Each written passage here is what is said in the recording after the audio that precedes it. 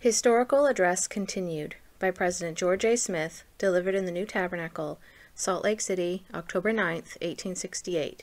Reported by David W. Evans. The rear of the camp of the saints that were driven out of Nauvoo as we left them last evening lying on the banks of the Mississippi, a very uncomfortable and distressing situation, were frequently annoyed by the firing of cannon from the opposite side of the river, many of the shot landing in the river, but occasionally some would pass over into the camp. One of them, picked up in the camp, was sent as a present to the governor of Iowa. The Reverend Thomas S. Brockman, leader of the mob who expelled the saints from Nauvoo, said when he entered the city that he considered he had gained a tremendous triumph.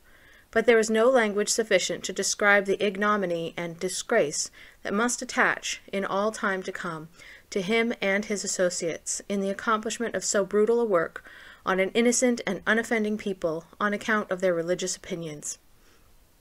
The settlements of Iowa on the west side of the Mississippi River were scattering, extending back about 70 miles. We passed through these settlements on our journey westward, that is, President Young and the party that left Nauvoo in the winter. We diverged a little from the regular route in order to be in the vicinity of the settlements of Missouri. Our brethren scattered wherever there was an opportunity to take jobs from the people, making rails, building log houses, and doing a variety of work, by which they obtained grain for their animals and breadstuffs for themselves. We were enabled to do this while moving slowly. In fact, the spring rains soon rendered the ground so muddy that it was impossible to travel but a very short distance at a time. Soon after, when the grass grew, this divergence from the north-south southerly was discontinued by pursuing a direction further north until we reached a point on the east fork of Grand River where the President's company commenced a settlement called Garden Grove. Then another, called Pisgah, was commenced on the west fork of the same river. These streams and a number of others had to be bridged at a heavy expense, which was done by the advanced parties. Our travel west of the settlements before we reached the Missouri River was about 300 miles. The country was in the possession of Pottawatomie Indians. They, however, had sold their lands to the United States, and were to give possession the following year. We were delayed building ferry boats and crossing the Missouri River. A large portion of our people crossed at a point now known as Omaha City, some crossed a little below at Bellevue, or what we sometimes termed Whiskey Point, there being some missionaries and Indian traders there, who occupied their time in selling whiskey to and swindling the Indians. We were met there by Captain James Allen of United States Dragoons, with an order from the War Department to enroll 500 volunteers for the war in Mexico. The volunteers were enrolled in a very few days. A portion of our wagons had crossed the Missouri at this time, and the residue of our people, from whom the volunteers were drawn, were scattered on the way two hundred miles towards Nauvoo. The men, however, volunteered, leaving their families and teams on the prairie, without protectors, and very materially weakened the camp, because they were the flower of the people. They marched direct for Leavenworth, and there received the arms of infantry, and then marched for California by way of Santa Fe. Their commander, Lieutenant Colonel Allen, died at Leavenworth, and they were subsequently placed under the command of Lieutenant Colonel P. St. George Cooke. They made a march of 2,050 miles to San Diego. History may be searched in vain for a parallel to this march of infantry. During a portion of this route, they were on three-quarter rations, a portion on half rations, and a large portion of it on quarter rations of bread, their only meat being such draft animals as were unable to proceed further. They were at one time temporarily relieved from this pressure through an encounter with a herd of wild bulls.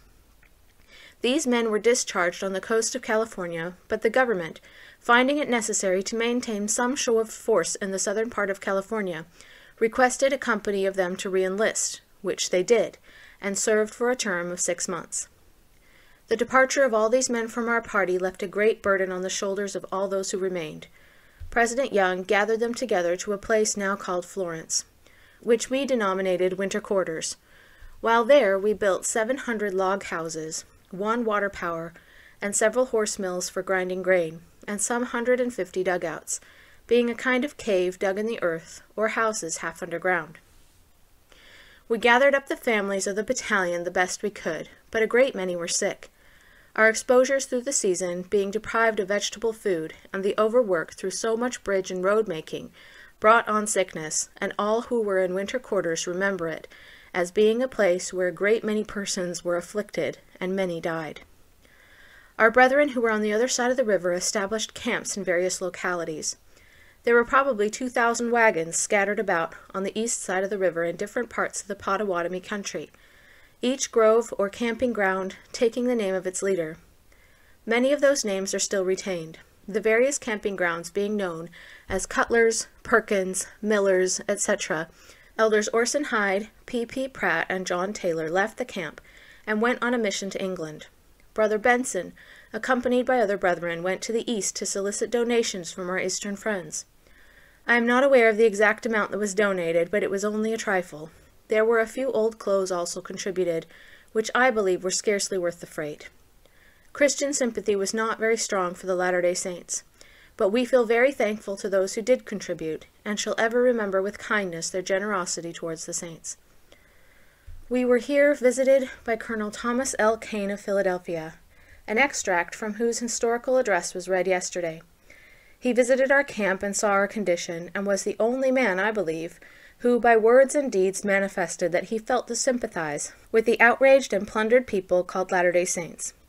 It may be that he was not the only man, but he was the only man who made himself conspicuous by his sympathy towards us, it is true that we have had men come here, as merchants and officers, who have expressed to us that they did have great sympathy with us at that time. It does us a great deal of good now to hear them say so. We did not know anything about it then. In the spring of 1847, President Young, with 143 pioneers, started in search of a place of settlement. We started early, before there was a particle of grass in the Platte Valley. We carried our food with us and fed our animals on the cottonwood bark until the grass grew, and managed to get along, making the road for six hundred and fifty miles, and followed the trapper's trail about four hundred miles more until we arrived in this valley. The whole company arrived here on the 24th of July, 1847. There were a few bushes along the streams of City Creek, and other creeks south. The land was barren. It was covered with large black crickets, which seemed to be devouring everything that had outlived the drought and desolation. Here we commenced our work by making an irrigation ditch and planting potatoes, which we had brought from the States, and late as it was in the season, with all the disadvantages with which we had to contend, we raised enough to preserve the seed, though very few were as large as chestnuts. For the next three years we were, we were reduced to considerable straits for food. Fast meetings were held and contributions constantly made for those who had no provisions. Every head of a family issued rations to those dependent upon him, for fear his supply of provisions would fall short. Rawhides, wolves, rabbits, thistle roots, sea segoes, and everything that could be thought of, that which would preserve life, would were resorted to. There were few deaths by eating poisonous roots. A great deal of the grain planted here in the first year grew only a few inches high. It was so short it could not be cut. The people had to pull it. A great many got discouraged and wanted to leave the country. Some did leave.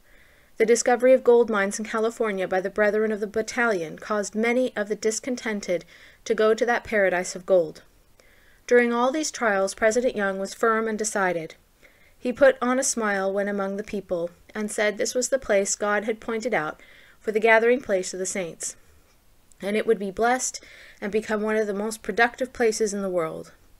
In this way he encouraged the people, and he was sustained by men who felt that God had inspired him to lead us here. President Young went back to the winter quarters the first season, and in 1848 returned with his family. John Smith, my honored grandfather, who was subsequently patriarch of the whole church, and who had been the president of the stake in Nauvoo, presided during the absence of President Young. I think that, for a man of his age and health, it was, in many respects, a very unpleasant position to be placed in, for all the murmuring, complaining, fault finding, distress, hunger, annoyances, fears, and doubts of the whole people were poured into his ear. But God inspired him, although a feeble man, to keep up their spirits and to sustain the work that was entrusted to him until the arrival of the President next season. In three years, 1850, the idea of a man issuing rations to his family to keep them from starving had passed away. But the Grasshopper War of 1856 inflicted upon us so great a scarcity that issuing rations had to be resorted to again. Through all these circumstances no one was permitted to suffer, though all had to be pinched. I shall not attempt to give a detailed account of all the circumstances connected with our position in those trying times. But when our brethren arrive here by railroad and see a country smiling with plenty, I think they can hardly appreciate how it looked when we came. When I first sat down on this ground in 1847, I was dressed in buckskin, having torn most of my clothes to pieces.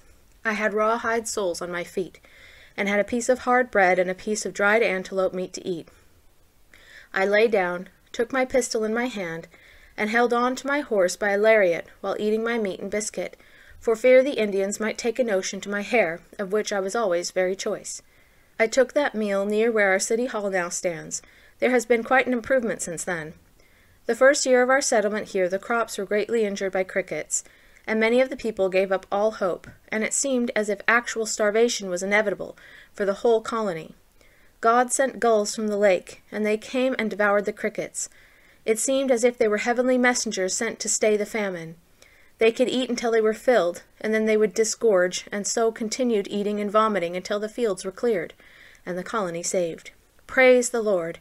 During that time of scarcity, when there was a short allowance of bread, uh, the people were remarkably healthy, more so than they were afterwards when food became more plentiful.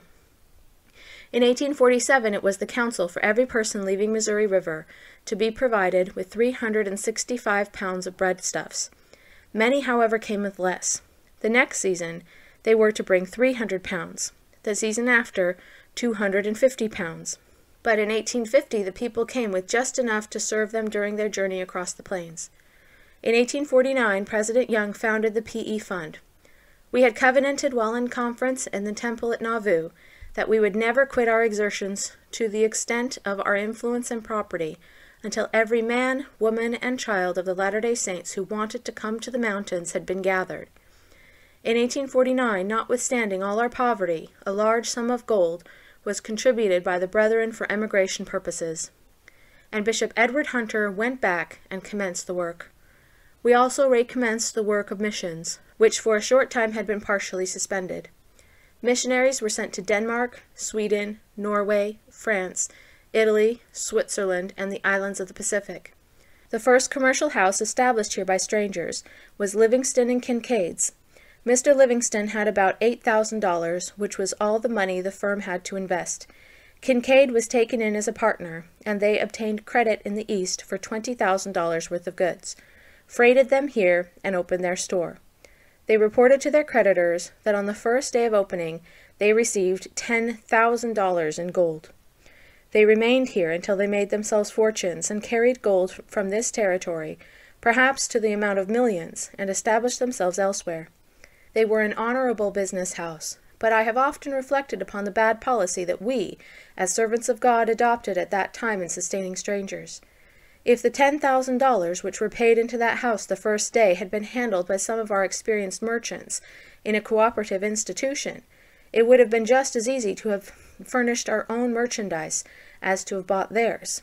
Bishop N. K. Whitney, who was then living, or Bishop Woolley, the numbers of others were well acquainted with mercantile businesses, but they had been robbed of all they had and had no capital. It only wanted unity and willingness on the part of the people to sustain their brethren in their business relations, to have laid the foundation to supply all that was ever supplied by Livingston and the Kincaid. I would like everyone to inquire for himself what would have been the result if, instead of sustaining Livingston and Kincaid and others merchants, our people had sustained Latter day Saints. The results would have been that large sums of money would have remained here and been used for building up the country, and when a dark cloud had lowered over us, our brethren with this means in their possession would have been on hand to aid the saints in defending and preserving their lives and liberties, while, as it was, the influence of the men we had enriched was turned against us, they believing they could make more money out of the government, and get rich quicker through war, than they could by continuing their honest, legitimate business with the people here. This firm is but one. Several other firms might be mentioned who pursued a similar course. As soon as it was known in Christendom that the Latter day Saints were not dead, but that they were alive and flourishing, and were gathering their people to the mountains at the rate from two to five thousand a year, and they had succeeded in reclaiming the desert, and in making grain and grass grow where nothing would grow before. It seemed as though all hell was aroused again. Federal officers were sent here, and they thought it policy to join in the general hue and cry, or at least some of them. There were a few honorable exceptions, but the majority of them raised a hue and cry against us, and it was thought so much of that one of the rotten planks of the platform of the great rising party which contested the elevation of James Buchanan to the presidency was the destruction of polygamy. This brought to our country immense armies, more men being concerned in the matter than in some of the principal battles of the Revolution, or even the War of 1812.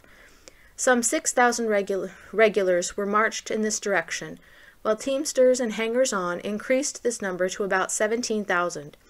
There were also several thousand freight wagons, and everything on the face of the earth, seemingly, that could be done to hurl into this country destruction and vengeance was done. But God overruled it.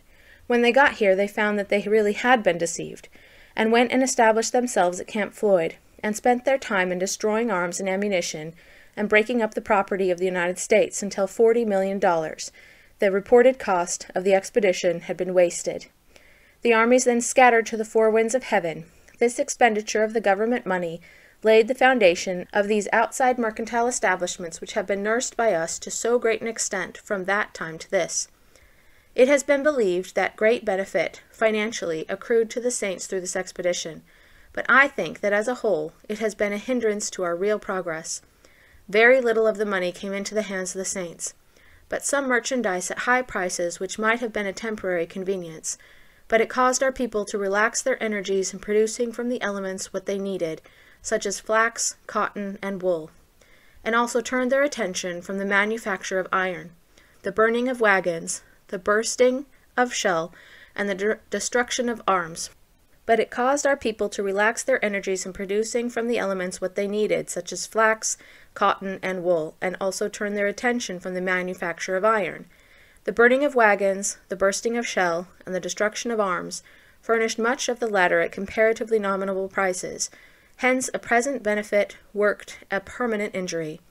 The speculators, who made vast fortunes at the expense of the nation, soon squandered them, and part of this army, and even its commander and many of the officers, were soon found arrayed against the flag of our country, and taking an active part in the terrible war between the North and South, the results of which are being so severely felt at the present time. Scandalous sheets have been issued here for years, and, as far as possible, sent to all parts of the world, filled with lies, defamation, and abuse, and everything that would tend to rouse the indignation of the Christian world against us, and to get up an excuse for our annihilation. These sheets have been sustained by men in the mercantile business, whom we have sustained by our trade and consequently have been supported indirectly by our money. I have been horrified at the issue of our means, and have felt that it was our duty as saints to stop supporting these slanders, lest peradventure, should they continue until they produced the designed effect, our blood should be upon our own heads. What did we cross the plains for? To get where we could enjoy peace and religious liberty. Why did we drag handcarts across the plains? That we might have the privilege of dwelling and associating with saints, and not building up a hostile influence in our midst, and place wealth in the hands of our enemies, who use it to spread abroad defamation and falsehood, and to light a flame that will again have the direct result, unless overruled by the almighty power of God, of bringing upon the Latter day Saints here the same sorrow, distress, and desolation that have followed them elsewhere. For my part, I do not fellowship Latter day Saints who thus use their money. I advise the saints to form cooperative societies and associations all over the territory, and to import everything they need that they cannot manufacture, and not to pay their money to men who use it to buy bayonets to slay them with, and to stir up the indignation of our fellow men against us. Our outside friends should feel contented with the privilege of paying us the money for the products of our labor, and we should exact it at their hands as a due reward for our exertions in producing the necessaries of life in this desert. Some may say, We are afraid the brethren are making money too fast, or, We do not like to trade with them, they charge us too high. Suppose they do. You need not buy of them. But do not go and buy of men who would use that money to cut your throats, or to publish lies about you, and endeavor to induce all men to come here, and dispossess you of your homes. Do not be so mad as that. Well, says one, I really want some little article that I cannot buy elsewhere. Man's wants are very numerous, but his necessities are really very few, and we should abridge our wants, and go to work and manufacture everything we can within ourselves. And what we cannot manufacture, we can import and save ourselves the 40, 120, 400, or 1000% that we are now paying for our merchandise, and so stop building up those who are laying a foundation openly and above board for our destruction. And furthermore, cease to fellowship men that will not build up Zion. Amen.